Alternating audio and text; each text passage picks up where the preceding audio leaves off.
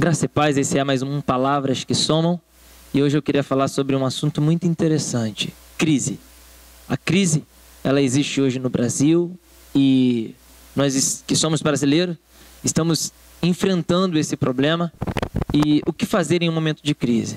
Algumas lições eu estou aprendendo com a crise. Primeiro, eu aprendo que a crise, ela aflora nos nossos corações aquilo que de fato nós somos.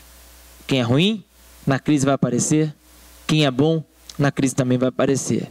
E uma outra questão da crise que eu aprendi essa semana, num seminário lá, aqui na Igreja Top com o reverendo Hudson, é que a crise, ou ela vai matar a gente, vai acabar com a gente, ou a crise vai mudar a gente. Aproveite esse momento para você mudar, porque é na crise que Deus realiza os maiores milagres e manifesta verdadeiramente quem Ele é. Que Deus te abençoe nessa crise e que mude a sua vida para a glória do Senhor. Soma some, essa é a visão.